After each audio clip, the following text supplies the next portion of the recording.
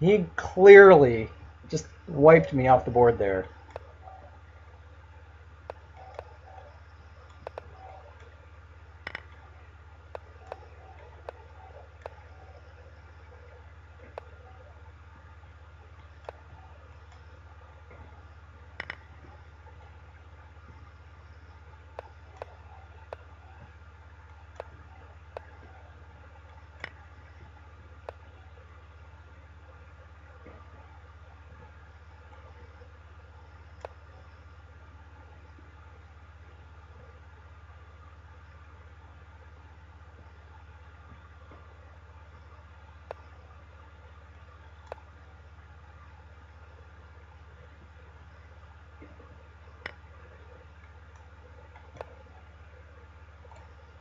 In one.